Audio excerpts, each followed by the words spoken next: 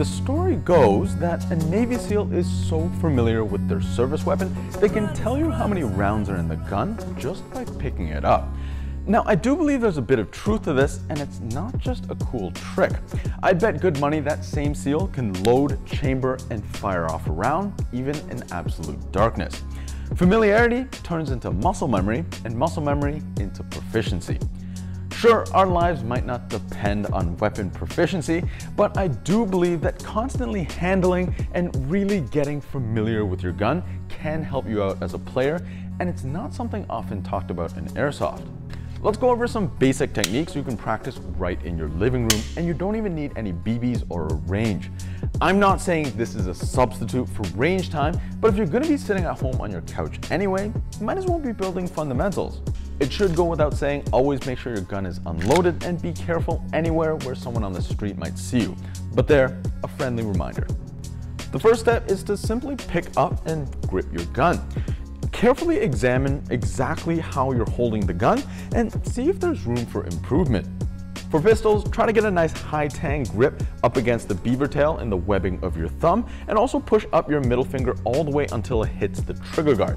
These two landmarks can act as reference points, and once you can feel them out with your fingers, then you can build a mental map of the rest of the gun. Then figure out what you want to do with your offhand, again pushing up until you can feel that trigger guard, adding another landmark. It's good to have a mental map of all your different guns as the grip angles and the different landmarks can be quite different gun to gun. For rifles, take the time to find out a stock setting that works for you and doesn't restrict movement in any way. A lot of people like to extend their stock all the way out, and unless you have really long arms, it tends to force you into a more bladed position and really restricts lateral movement.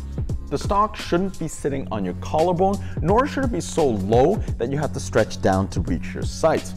Roll your shoulders forward slightly and find a good position for your stock and you should find that the sights come up to your eyes instead of your eyes going down to the sights. As for my offhand, I like to use a hand stop as yet another landmark, making sure that it's not restricting movement in any way and I can still square up my shoulders nicely with a target. Once you're comfortable with all your positioning, go ahead and set down the gun, wait a moment, and then pick it up again. See if anything about the grip changed at all. If it did, perhaps it moved to a more natural position and you should rethink your grip. Eventually, you'll be able to lock it in and every single time you pick up your gun, your grip will be in the exact same position and one less variable to make an accurate shot. Next, work on your sight picture. How well does everything work together to quickly line up a target? Forget red dots, Iron sights offer two perfect reference points. Imagine them as two little motion capture sensors that are independent of each other. Start slow, minimizing any excessive and unnecessary movements between those two points. Simplify until it becomes one fluid motion, and then see how quickly you can get a good sight picture. Once you feel comfortable with the sights, go ahead and pick a target, close your eyes, and see how close you can get to that target based on feel alone. As you can imagine, this helps tremendously with first shot accuracy, especially when more often than not, you simply don't have time to properly line up the sights. And this is when a consistent grip really comes into play. You're building a mental image of where the barrel axis is in relation to the landmarks that you can feel. If you want to take it a step further, practice switching to your weak side. With pistols, a transition is as simple as passing the pistol between your two hands. For rifles, I like to lead with the stock. Push up and forward to clear any sling and pull the stock into your offhand shoulder while maintaining a constant pressure. Then you can freely move your pistol grip hand onto the foregrip and then while maintaining that same pressure, you can move your offhand over to the pistol grip again. One, two, three. One, two, it might take some time for your eyes to cooperate with the sights and don't be afraid of closing one eye until you get the hang of it. Being able to switch sides when going around awkward cover will definitely push your game to the next level.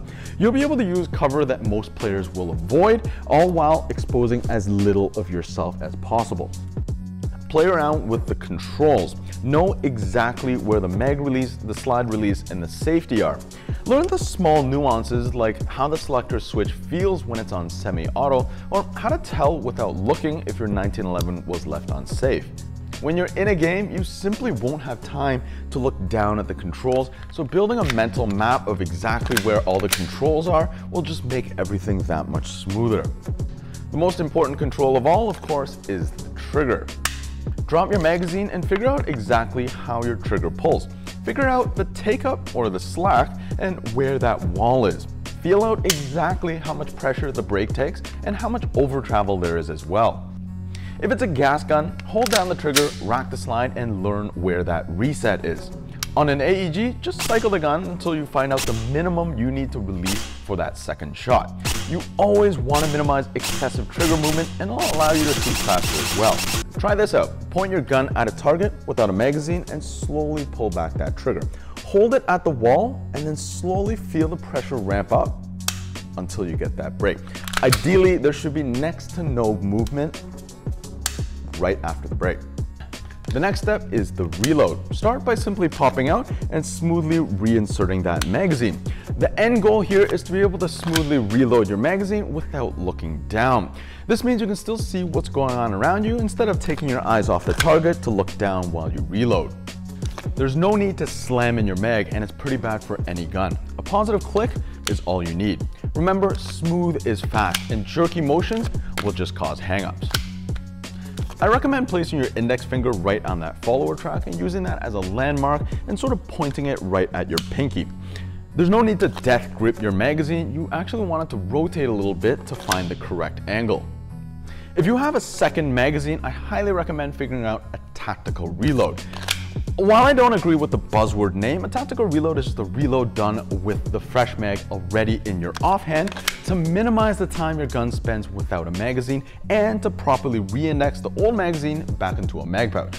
Ideally, this should be practiced with a belt rig, but it isn't necessary to build those fundamentals. Simply place a spare mag on a table so you can grab it the same way as you would from a mag pouch.